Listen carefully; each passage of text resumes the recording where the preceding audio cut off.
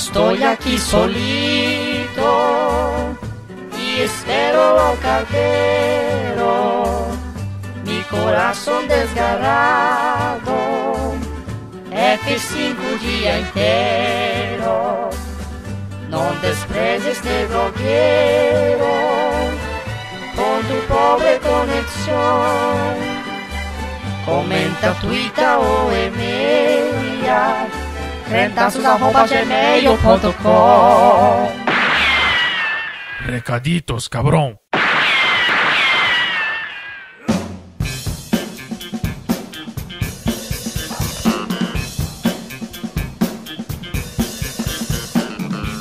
Recaditos de número 76. Eu sempre me surpreendo com o número porque eu esqueço os números. Uhum. E eu fico surpreso falando, meu Deus, tá chegando no Já 100. tá aqui. Lembro que entramos no 19 nessa brincadeira. Sério? Sério mesmo? Jesus Cristo. Nossa, eu tô muito chocada. É porque não tinha É? contagem, né? Quando a gente entrou, era tipo temporada e não sei o que, e era É, aquela mas se você jogar Podcast 19, Admirável Mundo Novo em 1984. Gente, eu tô passada. Eu tá estou... velha, estamos velhos, Magneto.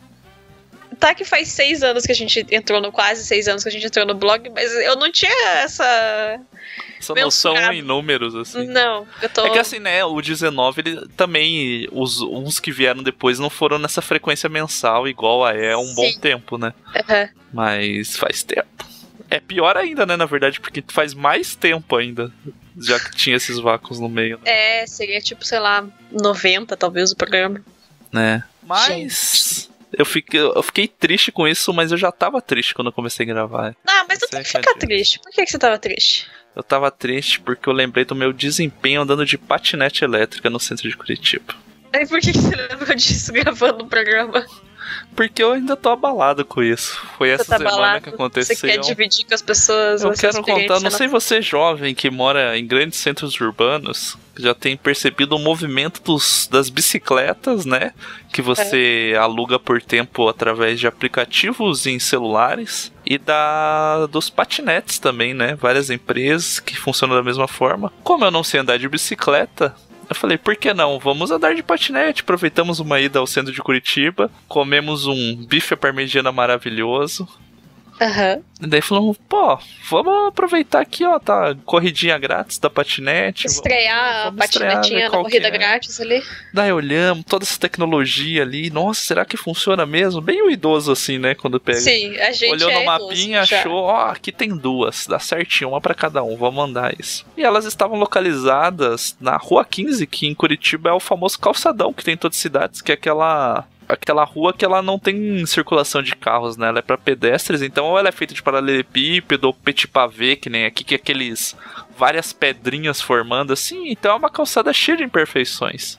Uhum. Mas a soberba minha falou, né? Oh, meu Deus, não, que isso? O que, que é isso? Uma patinete? Crianças andam de patinete, né? Como que eu não conseguiria? Daí fui andar, passei e comecei devagarzinho, você tem que dar um impulsinho, né? Pra ela poder acelerar.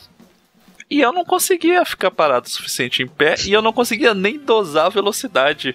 Porque eu encostava, o negócio ia voando e eu parecia o Garibaldo passando pelas pessoas, assim, totalmente descoordenado. Por que o Garibaldo tem uma o cena Garibaldo da fazendo- Vila César. Porque ele é muito grande, né? E ele Ah, fica desengonçado. E eu tava me sentindo isso. Eu era um Garibaldo de patinete. As pessoas deviam estar. Eu estaria julgando e rindo se eu visse uma pessoa no meu lugar passando por mim. Em compensação, a Tamires ia, foi, passou por mim bonitinho, assim, devagarinho, com cautela. É.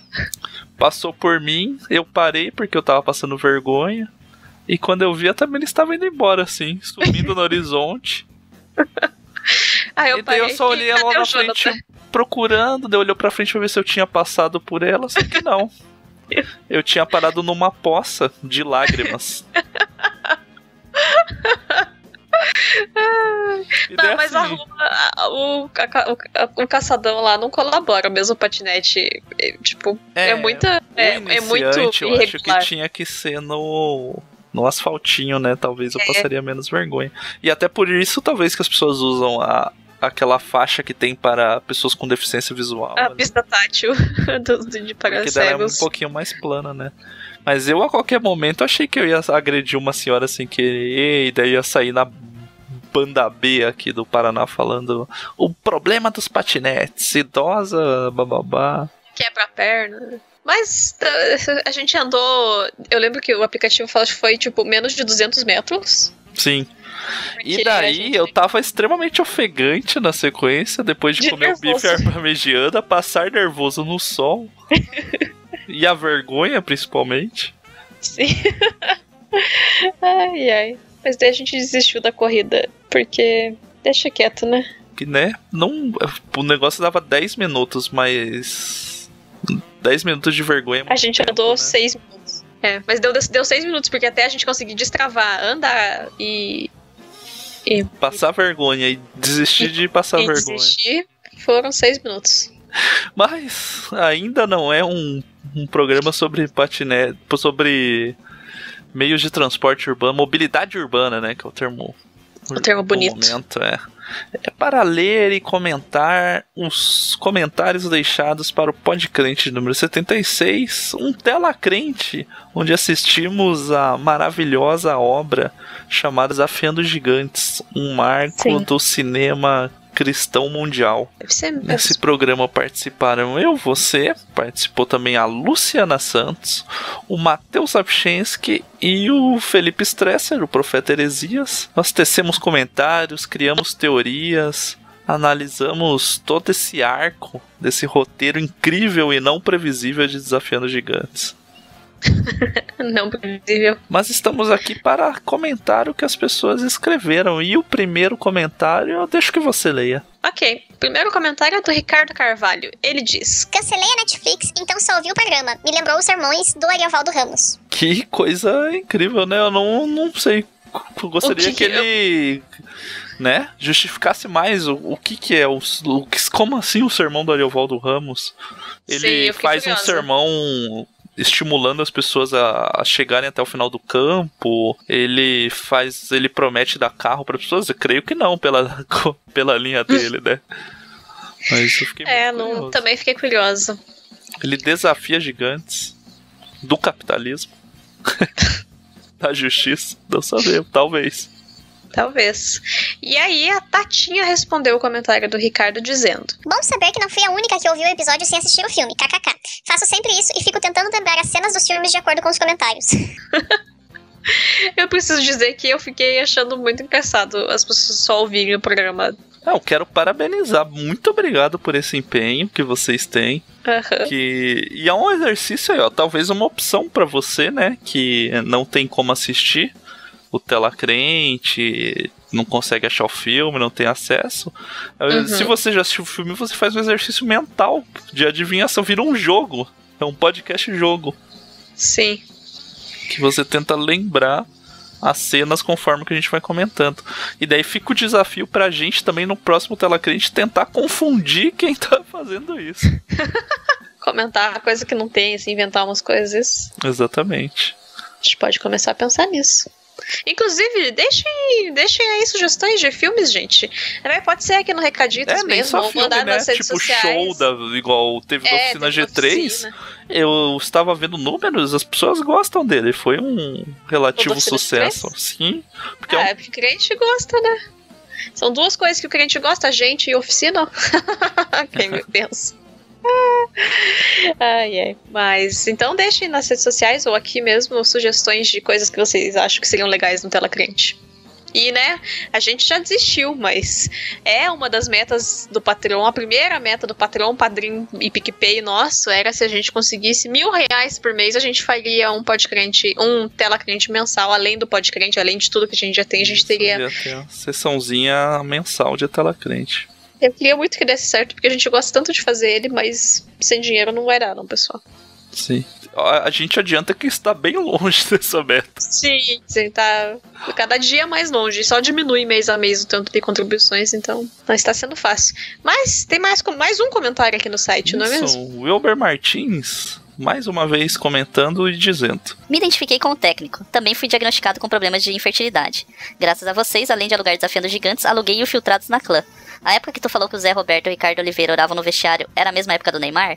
Hashtag minha vitória tem sabor de diesel. Não vai ter greve dos caminhoneiros. O Zé Roberto e o Ricardo Oliveira não, não. O Neymar já tinha ido embora nessa época aí. O Ricardo Oliveira e o Zé Roberto já eram veteraninho, que eram os pastores no vestiário do Santos, que deu as tretas que eu falei lá. Hum. E a vitória com sabor de diesel é muito interessante. É um bom slogan pra greve dos caminhoneiros, né? Porque no momento, na verdade, tá sendo a derrota deles que tá tendo sabor Exato, né? Pra eles é a derrota que tá sendo esse sabor aí. Uma lição, talvez. Fica uma, uma lição aí. Re- Repense seus atos, parça, né? Hum. E ó, ele alugou Desafiando Gigantes. Ele alugou em locadoras virtuais ou ele foi numa locadora física? Será que ainda existe? E alugou Desafiando Gigantes. Não sei, mas Tipo na Carisma Vídeo, que era a locadora evangélica em Curitiba. a carisma era evangélica? Não sabia. É, ela ficava. Olha só que loucura, a Carisma Vídeo ficava no centro de Curitiba, ela era uma locadora evangélica e ela cedia Ah, uma tá. salinha que onde funcionava uma pequena bola de neve em Curitiba, que hoje, tipo, tem quase uma quadra, o complexo bola de neve. Tem uma quadra, é uma quadra inteira ou coisa. E tem quadras de futebol, né? Mas não é pra falar da bola de neve, fi, deixa as perguntas. Neve, bola de ela neve, né? surgiu aqui no, aqui, aqui no sul, no Santa Catarina, né? Não tenho certeza pra te Não? dizer, mas não sei Mas tanto é, era uma- deles. Era uma salinha minúscula. É verdade, agora eu lembrei que a gente entrava pelo corredorzinho. Isso, entrar pelo estacionamento, descia lá no fundo né? que tinha Daí lá no locadora. fundo tinha a bola de neve. Nas terças-feiras à noite era o culto. E a única vez que eu fui, eu saí quando não tinha nem acabado o louvor ainda, porque já era 9 horas, o culto tinha começado às 7. E o louvor não tinha acabado ainda, e eu tinha que ir pra casa sozinha com 16 anos, no, no centro de Curitiba. Eu De- também não fiquei num culto inteiro da bola de neve. Pelo mesmo motivo, né? Pelo mesmo motivo, a gente foi convidado na época que eu tinha minha banda. Daí um dos meninos, o baterista, tinha começado a ir na bola de neve. E daí ele chamou a gente pra ir pra lá, que tal, o pastor de lá queria conversar com a gente. Daí a gente foi na boa vontade, mas o culto foi muito longo, eu tive que ir embora. E nunca conversei com, esse pastor, ficou por isso mesmo. Mas a Carisma Vídeo, que era o, que eu- o assunto do começo, era muito legal, porque você podia alugar CDs e DVDs. E tipo, CD e DVD gringo que assim, né? A pirataria naquela época não era muito fácil o acesso às coisas, a Uhum. internet era discada e tal, tal, tal. E mesmo assim, pra você achar banda crente, era muito difícil você achar banda crente underground. Independente, nossa, era quase impossível. E na Carisma tinha DVD do MXPX, Silent Key, Dogwood. Daí você conseguia alugava esses CDs, copiava malandramente no Windows Media Player e tinha em casa depois pra distribuir pros outros jovens, né? Aham. Então, É, eu nunca tive nem cadastro lá, mas acredito em você, faz sentido. É, eu lembro que a gente fazia uma inteira, assim, do- dos meninos lá, tipo, ah, eu vou, tipo, eu falava que eu ia lá buscar. Daí a gente inteirava, ou eu não pagava um CD que eu escolhia, porque eu gastava com ônibus, alguma parada Sim. assim. E o tempo, né? Poxa, Exatamente. acho justo. Mas era legal. Se eu queria ter ficado sabendo que a locadora ia fechar antes, pra eu poder ir lá comprar coisas. as coisas lá dos DVD massa que tinha. Ah, mas é, sempre acaba sabendo muito em cima da hora dessas coisas, daí é triste mesmo. E no YouTube, agora os comentários. Eu ia Maluco. começar a cantar a música do Júlio no YouTube. Yubi, yubi, yubi, yubi, Júlio. Júlio, Júlio no no YouTube. YouTube. Se vocês não conhecem o canal do Júlio, que É o Júlio do Cocoricó. é o Júlio do Cocoricó, gente. Ele tem o canal do YouTube e ele é muito fofo. E é. Inc... Parabéns, melhor Tá canal. Me- Que surgiu nos últimos meses no YouTube. Nos últimos Melhor anos, sabe? canal sobre sociedade no YouTube. É. Análise social, so- discussão. Crítica social foda. Crítica social foda, saber dividir, saber melhor do que muito adulto aí que acha que é antropólogo, socialista, jornalista, sabe Deus mais o que. O Júlio no YouTube tá apavorando, gente. E o, né, o Desafio dos Gigantes que já está em- com 8.500 e, e tantos views. Rumo a mais um recorde, agora um recorde no cenário evangélico, né? que Porque Esqueceram Sim. de Mim não, não pertence aos. Esqueceram de Mim é do mundo. Aham. Mas o desafio dos gigantes vai avançando ali, muitas pessoas perdidas chegando, com mais dislikes do que likes. Porque Ah, você vê que o sempre. crente odeia, hein? Porque o Esqueceram de Mim, não, eu acho que não tem mais dislike do que lá. Eu tô indo lá conferir isso nesse momento. Se você quiser ler o primeiro comentário aí enquanto Eu isso. vou ler o primeiro comentário. O primeiro comentário é de Felipe Amorim. Felipe Amorim, nosso amigo, que vem e escreve Enganação não é o filme. com vários erros de português, é, emulando o padrão de comentários, né? Quando as pessoas vêm nos ofender. Sim. E aí a gente tem uma pessoa, né, a Juliana Oliveira, que responde Né, isso. E eu esperando o filme. E dei um emoji fazendo um hum. que ela claramente não percebeu a ironia do nosso amigo Felipe Amorim no comentário. Exatamente. E só pra atualizar os dados do Tela Crente, esqueceram de mim, nesse momento ele tem 172.266 visualizações, 553 likes, incluindo o meu, porque tá azulzinho aqui, e 998 dislikes. Ah, não, então o pessoal tá desgostando bastante.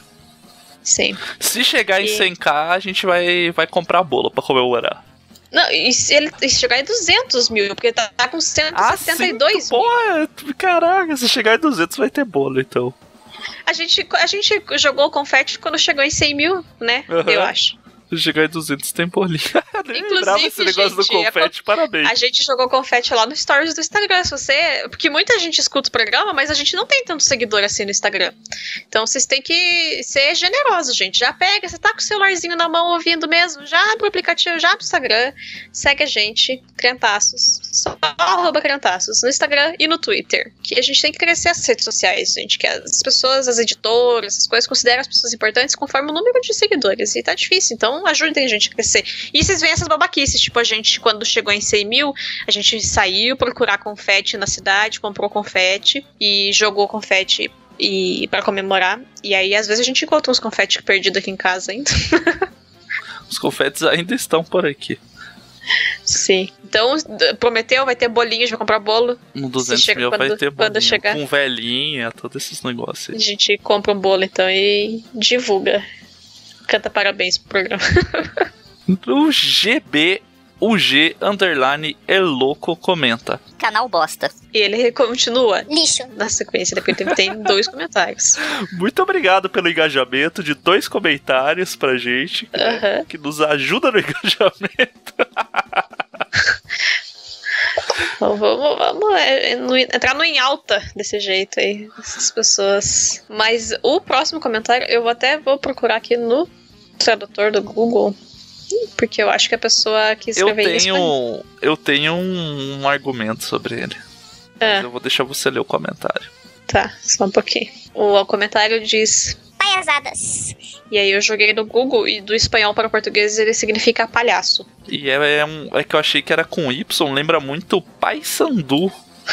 Que é um- eu achei que era Ah, alguma referência. Eu achei que era em espanhol, eu vou dizer por quê, por causa do nome da pessoa que comentou, porque é Jenny Paola Ramírez Bustos, o nome da pessoa que comentou.